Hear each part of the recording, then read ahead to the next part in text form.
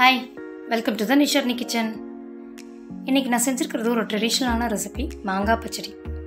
இது பார்த்திங்கன்னா தமிழ் நியூ அன்றைக்கி கண்டிப்பாக எல்லார் வீட்லேயும் பண்ணுவாங்க. இந்த ரெசிபியோட ஸ்பெஷல் என்ன அப்படின்னு கேட்டோம்னா அறுசுவையும் கலந்தது. என்னென்னா இனிப்பு உப்பு புளிப்பு உரப்பு கசப்பு துவர்ப்பு.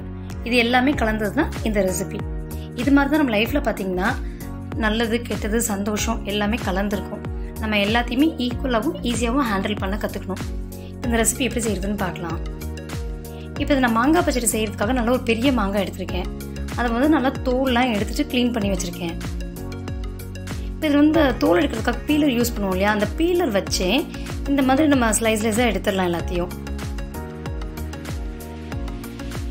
இங்கே பாருங்கள் எடுக்கிறப்ப இந்த மாதிரி நல்லா தின் பீஸாக கிடைக்கும் பீலரில் எடுக்கிறப்ப.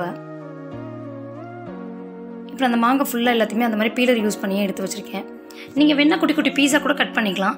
ஆனால் இந்த மாதிரி நம்ம பீலர் வச்சு எடுத்து செய்கிற போது டிஷ்ஷோட கடைசியாக எப்படி இருக்கும்னு பார்த்தீங்கன்னாக்கா நல்லா ஜாம் மாதிரி இருக்கும். அதுக்காக தான் நான் இந்த மாதிரி செஞ்சுருக்கேன். இப்போ பார்த்திங்கன்னா ஒரு கடாய் வச்சுருக்கேன் நான். அதில் நம்ம எடுத்து வச்சுக்கோல பீல் பண்ணி வச்சுருக்கோம்ல எல்லா அந்த மாங்காய் அது எல்லாத்தையும் நம்ம சேர்த்துக்கலாம் உள்ள.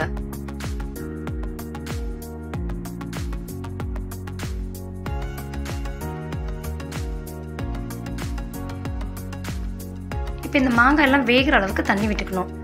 ஒரு முக்கால் டம்ளர்லேருந்து ஒரு டம்ளர் அளவுக்கு தண்ணி விட்டுக்கலாம். எல்லாத்தையும் நல்லா ஒரு தடவை கலந்து விட்டுடலாம்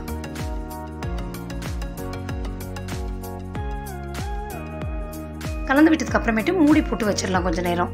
ஒரு ஃபிஃப்டி பர்சன்ட் வேகிற அளவுக்கு மூடி போட்டு இருக்கட்டும். இப்போ தொடர்ந்து பார்க்கலாம். இங்கே பாருங்க நல்லா எல்லாம் ஃபிஃப்டி டு சிக்ஸ்டி பர்சன்ட் எல்லாம் வெந்துருச்சு. இப்போ இந்த ஸ்டேஜில் கொஞ்சமாக மஞ்சத்தூள் சேர்த்துக்கலாம்.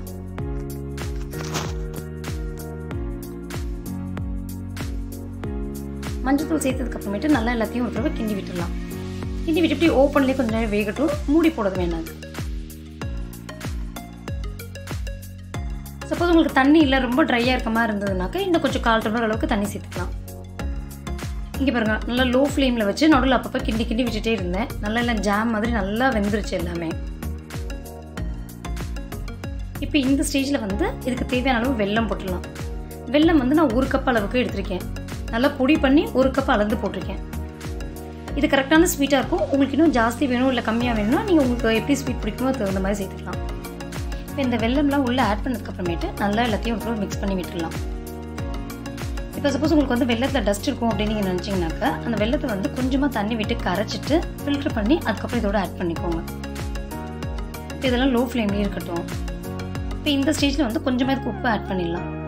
நான் ஏற்கனவே ஃபஸ்ட்டு சொல்லியிருந்தேன் இல்லையா இந்த டிஷ்ஷில் வந்து பார்த்திங்கன்னா உப்பு இனிப்பு புளிப்பு எல்லாமே இருக்கும்னு. அதுக்காக தான் கொஞ்சமாக உப்பு ஆட் பண்ணியிருக்கோம். லோ ஃப்ளேம்லேயே வச்சுட்டு அப்பப்போ நடுவில் கிண்டி விட்டுட்டே இருங்க.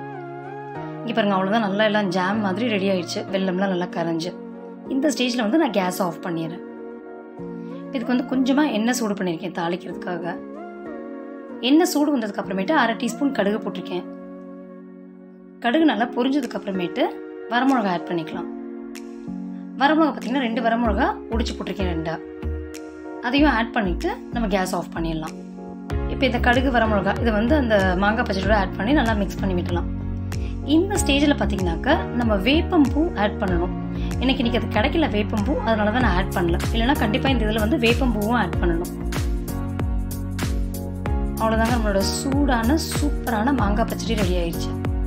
இதை எல்லோரும் இந்த தமிழ் நியூ ட்ரை பண்ணி பாருங்கள் எப்படி வந்ததுன்னு சொல்லுங்கள் உங்களுக்கு என்னோடய ரெசிபிஸ்லாம் பிடிச்சிருந்ததுன்னா லைக் பண்ணுங்கள் கமெண்ட் பண்ணுங்கள் மறக்காமல் ஷேர் பண்ணுங்கள் இது வரைக்கும் சப்ஸ்கிரைப் பண்ணலன்னா சப்ஸ்கிரைப் பண்ணிக்கோங்க. அனைவருக்கும் இனிய தமிழ் புத்தாண்டு நல்வாழ்த்து தேங்க்யூ